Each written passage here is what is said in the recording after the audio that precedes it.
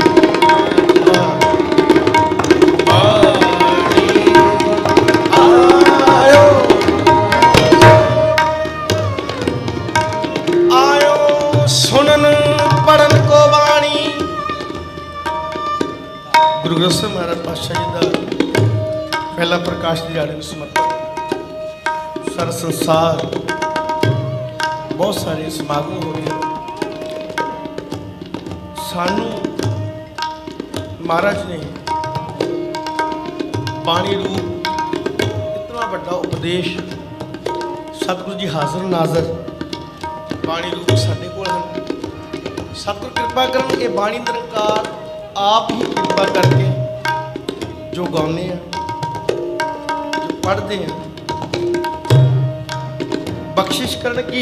ਜਿਸ ਤਰ੍ਹਾਂ ਡਾਕਟਰ ਸਾਹਿਬ ਦੱਸ ਰਹੇ ਸੀ ਕਿ ਗੁਰਮਤ ਸੰਗੀਤ ਦੇ ਵਿੱਚ ਜਿਸ ਤਰ੍ਹਾਂ ਮਹਾਰਾਜ ਜੀ ਨੇ ਬਾਣੀ ਨੂੰ ਗਾਇਆ,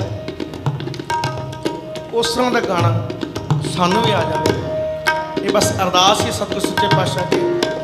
ਬਾਣੀ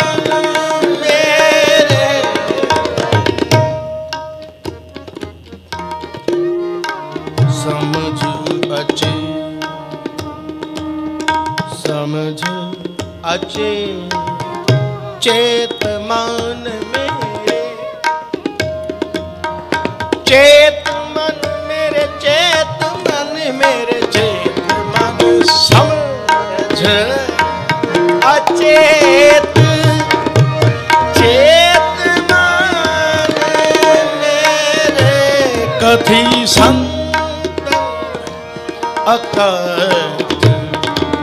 ਕਹਾ